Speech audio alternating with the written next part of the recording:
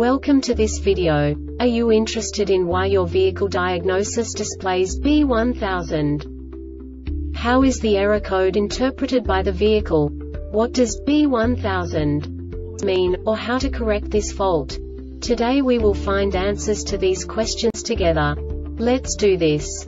First, let's look at the history of diagnostic fault code composition according to the OBD2 protocol, which is unified for all automakers since 2000. We divide the electric system of automobile into the four basic units. Powertrain, body, chassis, network. This distribution is defined in the first character code. If the second character is expressed as zero, it is a standardized error. In the case of numbers 1, 2, 3 it is a more prestigious expression of the car-specific error. The third character specifies a subset of errors. The distribution shown is valid only for the standardized DTC code. Only the last two characters define the specific fault of the group. Let's not forget that such a division is valid only if the other character code is expressed by the number 0. Our website airbagreset.sk produces useful videos for you. You do not have to go through the OBD2 protocol anymore to know how to troubleshoot any car breakdown. You will find all the diagnostic codes that can be diagnosed in a Saab vehicles. Also many other useful things. The following demonstration will help you look into the world of software for car control units. You unbelievably can move the video a bit further. The error code is split into two bytes consisting of 16 bits. One bit is the basic unit that each computer works with. The bit has two logical states.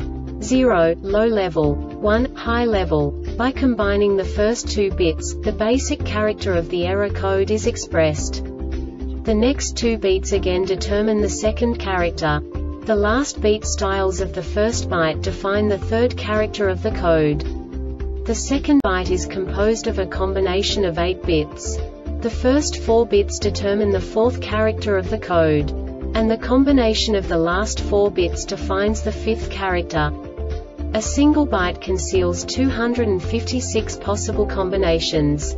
We now know in what way the diagnostic tool translates the received information into a more comprehensible format. The number itself does not make sense to us if we cannot assign information about it to what it actually expresses. So, what does the diagnostic trouble code B1000 interpret specifically Saab car manufacturers? The basic definition is short in P-squib circuit to ground.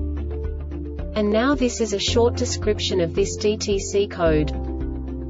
Front passenger airbag assembly P-squib airbag sensor assembly instrument panel wire. The Airbag Reset website aims to provide information in 52 languages.